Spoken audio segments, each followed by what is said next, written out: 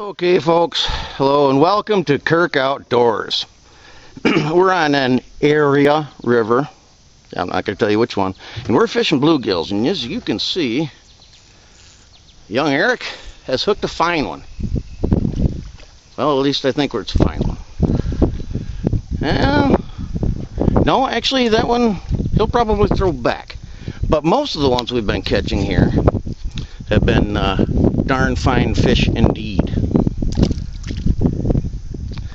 And uh, just so that you can see, this is the uh, basic setup. I got a little slip bobber, fishing it down about three feet, maybe.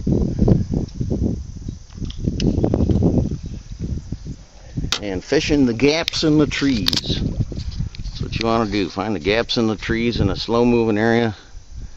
And that's where the bluegills are. And I'm trying to trying to give you a good gill on footage on you know on, on video here, but these guys aren't helping me out here. I'm gonna need one of you guys to catch one of them. Catch one of them big uh, big males. Add a pepper, there you go. As if on cue.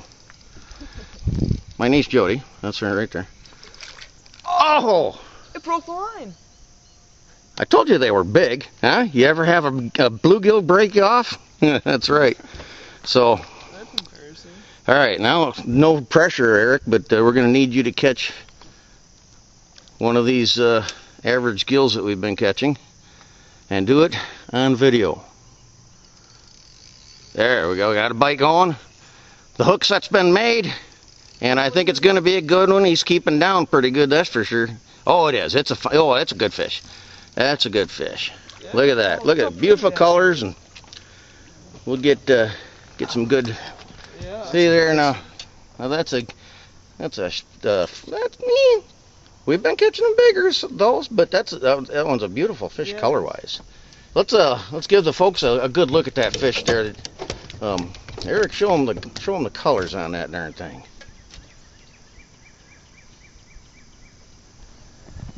There, that's a that's a pretty darn fish, isn't it? Yeah. And that's that's real close to uh, what I would call an average of what we catch in these spots. So, uh, but I'm going to quit talking now so that I can catch some too. We're going to do another little Kirk Outdoors thing. And uh, Eric, would you mind showing the folks at home what we've got in the live well there? Yeah.